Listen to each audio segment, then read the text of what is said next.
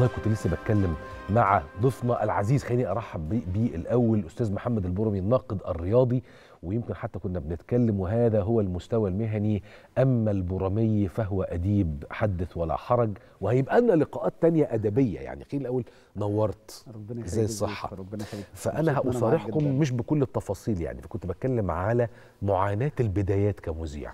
إزاي دي حدوتة قد تروى وقد لا تروى. مش دي المسألة. الأول منورنا المرة الثانية. ماتش النهاردة. هل كان مفاجئا لناقد ومحلل رياضي زيك ولا كنت متوقع كده؟ آه، اولا مبروك لحضرتك مبروك لكل الشعب المصري. والله. ال- الأداء مش النتيجة. الأداء مم. مش النتيجة. آه، حضرتك لو فاكر إن لما كنا بنتكلم على السنغال كنت آه. بقول لك إن أنا مش خايف من السنغال خالص اللي هي في المباراه الفاصلة وكأس آه. العالم أنا خايف مننا إحنا إن إحنا حتى الآن مش مصدقين المجموعة الحالية هي مجموعة جيدة جدا جدا والمدير الفني هو مدير فني جيد جدا لكن مش مصدقين إن هم غالبا بيلعبوا مع منتخب مصر وإن منتخب مصر ده منتخب كبير ومنتخب صاحب آه، تاريخ كبير جدا فكان لازم يصدقوا ده مباراة كوت ديفوار عشان كده أنا بعتبر مثلا مباراة كوت ديفوار هي البداية الحقيقية للجيل الحالي. بطاقة طبعا بطاقة التعريف ليه مع الجمهور المصري. إيه اللي كان ناقص الجيل الحالي ده؟ ال- الروح دي الشخصية دي. دي كانت أكتر حاجة ناقصة ال- ال- ال- الجيل الحالي. فعشان كده مثلا ما كنتش ما كنتش مستغرب النهارده مع مع المغرب المستوى اللي اللي ظهر بيه. لأن خلاص هم آه، فازوا بمباراة كوت ديفوار فالمباراة يمكن بالنسبة لبعض تكون فوز وصعود من دور 16 لدور الثمانيه لكن هي إكساب ثقة وتقل للمجموعة الحالية دي هتسهل عليهم بعد كده بطولات كتيرة جدا وهيلعبوا بضغط أقل آه، بشكل كبير جدا. وده ظهر النهارده مثلا في مباراة المغرب. صحيح كان في تنشنة شوية لكن المستوى كان أفضل كمان من مباراة كوت ديفوار كنا بنروح للجون كتير وبنصنع وبنسجل جول في في الوقت الإضافي ال- الأول. آه، بدأنا الم- الم- المباراة بشكل صعب جدا اتسجل فينا هدف لكن قدرنا نكمل وقدرنا نرجع. ده اللي كان ناقص منتخب مصر. وأعتقد ما بقاش مفاجئ بالنسبة لي إن هم يبقوا بالشكل ده لأن خلاص هم خدوا الدفعة اللي هم كانوا محتاجينها وإدوا كمان الجمهور اللي كان محتاجه. علشان الجمهور يثق فيهم ويدعمهم وما نسمعش نغمه ده بيلعب في الاهلي ده بيلعب في الزمالك والخناقات ال- اللي بتحصل بين الجمهور ده. الناس كان الجمهور كان محتاج فوز كوت ديفوار والمنتخب كان محتاج فوز الكوت ديفوار فبعد كده ما بقاش بالنسبة لي مفاجئ لأن في روح في أداء في عزيمة عند المنتخب وده اللي إحنا كنا محتاجينه. لكن كمستوى فني ما كانش عندي شك في المجموعة الحالية ولا كان عندي شك مع المدير الفني حتى لو أنا مختلف مع بعض اختياراته ومع بعض أفكاره. بصياغات تحاول تقترب من الأدب كده. يعني فوز كوت ديفوار ده عبد الطريق أمام سلسلة من الانتصارات القادمة. بالظبط. واعاد الثقة للمجموعة الحالية علشان تثق في نفسها بأفضل شكل ممكن وتضع ووضعها على الطريق الصحيح كلاعبين دوليين يستحقوا ارتداء فانيله منتخب مصر. حلو قوي يستحقوا ارتداء فانيله منتخب مصر دي. طيب أنا هنا بقى هسأل على إيه السر وراء ارتفاع شكل ومعدل اللياقة البدنية لدى الفرقة بتاعتنا؟ إحنا فرقتنا في وجهة نظر أنا ما كانتش عندها هذه اللياقة. هذه الطاقة القدرة على الاستمرار من الأول للآخر بنفس الطاقة وبنفس القوة وبنفس الشدة لا إحنا ما كناش كده. إحنا كنا بنيجي دايما طول الوقت في الأواخر ونبدأ خلاص تعبنا. المرة دي الله أكبر. لا جزء منها علمي طبعا. هم ال- الجهاز الفني بيشتغل معاهم بدنيا بشكل كويس. كمان في تطور كبير في اللياقة البدنية عند اللاعب المصري. آه. يعني الشغل الكويس في الأهلي في الزمالك النهارده بنشوف آه، مدربين أحمال آه، من من جنسيات أخرى بيشتغلوا في آه، في الدوري المصري. فده كله بيرفع كمان ال- الجهاز الفني أو ال- ال- المعد البدني اللي موجود مع المنتخب ده كله بيساعد. حاجة تانية كمان إن عدد كبير جدا من اللعيبة هو لعيب محترف لعيب بيهتم بلياقته بيهتم بصحته الأكل اللي بياكله بياكله بشكل كويس جدا. كل الحاجات دي بتساعد. يعني طول ما طول طول الوقت لما اللاعب بيحافظ على لياقته البدنية بياكل كويس بيتدرب كويس كل ده بيقلل معدل الإصابات عند اللاعبين. فبيظهروا بالشكل ده. حتى يمكن في آه، شوية المنتخب الجزائر مثلا ما قدرش يلعب آه، في الأجواء دي يمكن بسبب أغلب لعيبته محترفين فما قدرش يتعامل مع الأجواء دي. لكن شفنا إن منتخب مصر قدر يتعامل معاها ويتعامل معاها بشكل جيد جدا وده يحسب للجهاز ال- الفني والمعد البدني الموجود مع المنتخب. كمان في مجموعة كبيرة من اللاعبين هم بيلعبوا آه، في دوريات في الدوري السعودي والدوري الإنجليزي ودوريات أخرى فده كله بي بي بيرفع المعدل البدني للاعبين. حاجة ال- اللعيبة عندها روح. اللعيبه بتقاتل آه، على كل فوق على كل كورة. ممكن يكون لاعب مصاب. النهارده شفنا آه، أبو جبل بغض النظر إن أنا مش مش معاه شوية في في الموقف لكن عاطفيا ونفسيا هو عايز يكمل عايز. يدي ال- المنتخب عايز مش عايز يخسر المنتخب. التدريب دي برضو من الحاجات اللي بتساعد ال- اللاعب يمكن بتوع الكورة شوية يقولوا على الغل الكروي. يعني وعنده آه. غل إن هو يكمل. ويلعب علشان مش حابب يخرج ده كله برضو بيزود ال- ال- العزيمة عنده إن هو يكمل في أعلى مستوى. أنت مش معاه ليه بقى؟ آه، مش معاه لأن آه، ببساطة إن إن ممكن يأثر بشكل سلبي على مستواه في المباراة فبالتالي يحصل آه، آه، يحصل خطأ منه في مباراة ما يقدرش يعمل آه، ردة فعل مناسبة لكورة مثلا خطيرة. فت ف يعني فتكون تأثيرها كبير على المنتخب. الحاجة الثانية ممكن يكمل فكيروش يعتمد إنه هيكمل ويغير الخمس تغييرات بتوعه وخلاص ففجأة هو يتصاب أو ما يبقاش قادر يكمل فتخسر أنت تغيير. آه أنا معاك إن أنت يبقى عندك روح وكل حاجة لكن الأفضل إن خلاص أنت مش قادر والجهاز الفني قال إن أنت مش قادر الأفضل أنت تعمل كمان عشان أطمن عليك المباراة القادمة. يعني الاصابه ما تتفاقمش. محمد الشناوي مثلا لو ما قدرش يرجع المباراة القادمة أمام الكاميرون أبقى أنا مطمن عليك إن أنت الإصابة اللي عندك دي خفيفة فتقدر تشارك معايا مباراة الكاميرون ما احترش أو يبقاش عندي مثلا مشكلة في إن مين اللي هيلعب محمد صبحي هل يقدر ولا لأ؟ كل الحاجات دي حاجات مهمة فالعاطفة آه مهمة لكن برضو الشغل الاحترافي مهم آه، أكتر من آه، من العاطفة في في المواقف اللي زي دي. طيب أنا هستاذنك هنطلع فاصل سريع جدا. وهنرجع بعد الفاصل. عايز نتكلم يمكن في حاجتين لو معانا الوقت يعني. جزء منها هي التويتة أو التغريدة بتاعه المفكر الكبير سعيد نشيد وسمى الصورة عناق الكبار اللي هي صورة صلاح الشهير. وعايز أتكلم على توقعاتك لماتش الكاميرون في ظل تحكيم من وجهة نظري المتواضعة ما كانش أحسن حاجة النهارده. وجهة نظرنا كلنا. مش كده؟ طيب تعالوا بقى نروح للفاصل ونرجع ننقنق شويتين.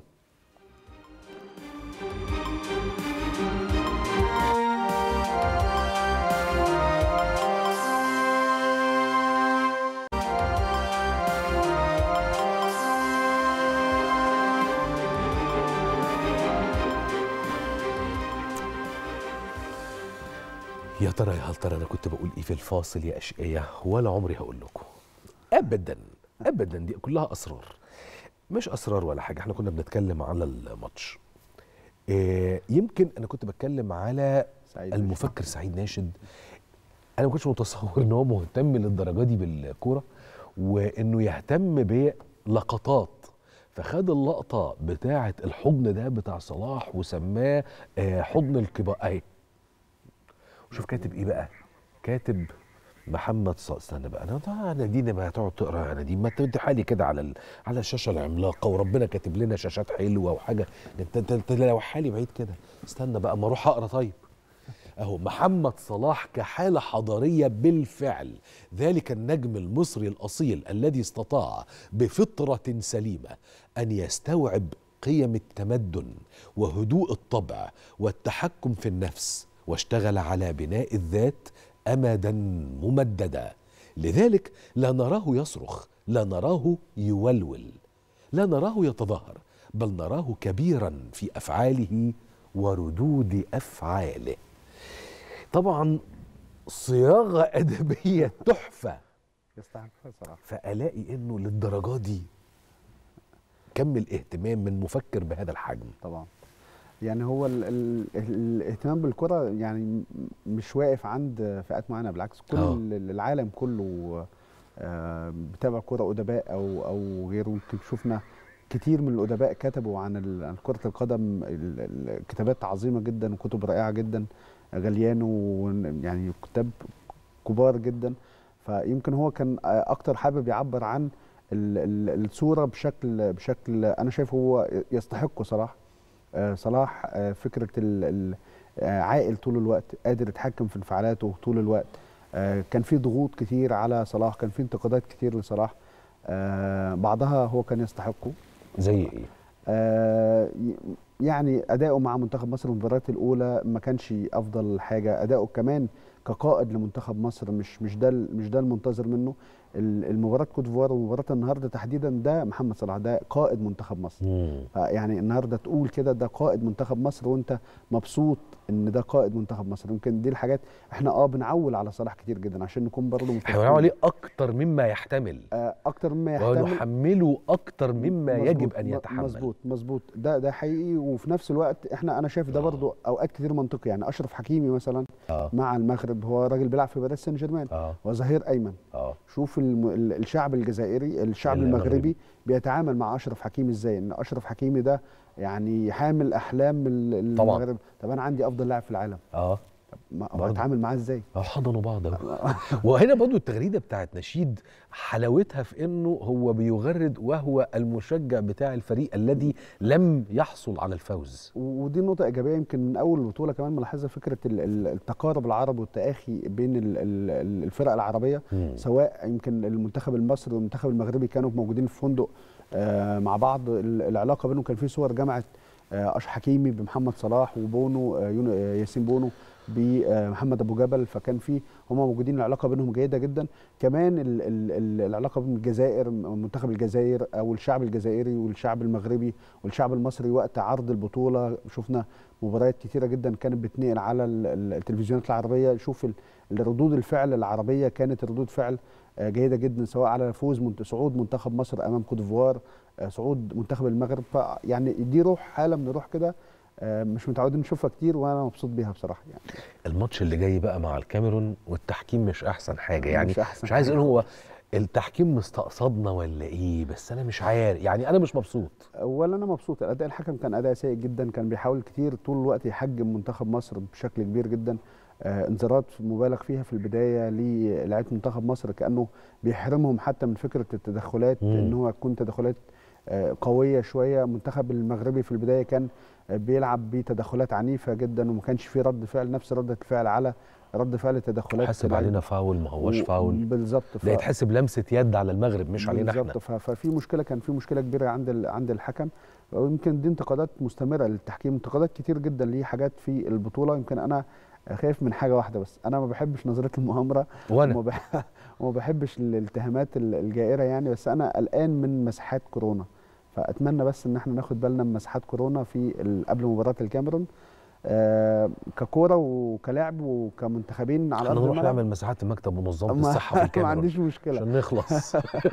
بس عشان لأن اللي حصل مع منتخب جزر القمر حتى الآن في في جدل جدل كبير عليه. آه. آه طبعا في جدل كبير عليه وفي في قانون يعني قوانين اتعملت علشان الحارس يعني الحارس بعد المسحة سلبية اتحرمت ال- الجزر القمر من من وجود حارس مرمى فيعني مش عايز بس ندخل في السكة دي خالص. آه بس يعني شوية نبقى واخدين بالنا من الموضوع ده. غير كده إحنا ككورة كمنتخب مصر لا إحنا أفضل من أفضل من الكاميرون. حتى هم أصحاب الأرض إحنا بالمستوى اللي ظاهرين بيه حاليا بروح بروح الحالية لا إحنا أفضل من منتخب هل الكاميرون ينفع إن شاء نحط توقع للنتيجة؟ آه 1-0 منتخب مصر. ماشي. كله عمال يقول لي 1-0 وأنا حاسس إن هم يبقوا 2-1 برضه. بس ماشي. يعني 100 فل.